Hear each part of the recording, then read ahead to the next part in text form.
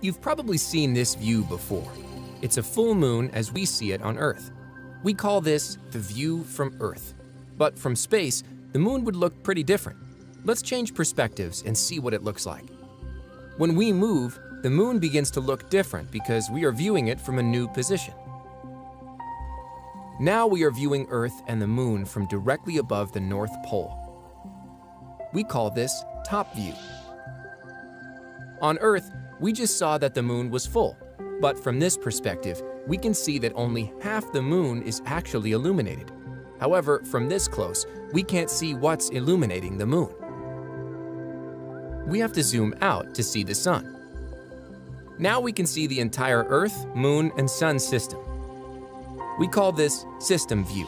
Of course, this view is not to scale. If it were, the Earth and the Moon would be so tiny and close together that we would barely be able to see them on the screen.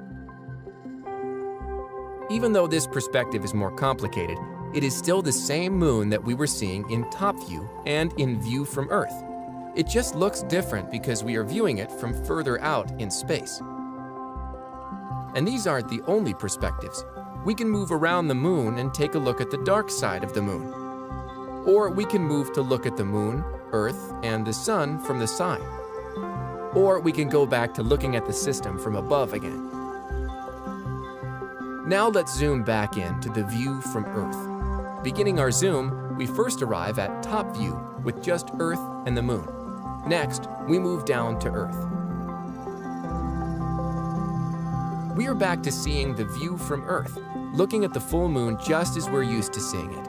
Except now we know that if we are viewing the moon from different perspectives, it can look very different.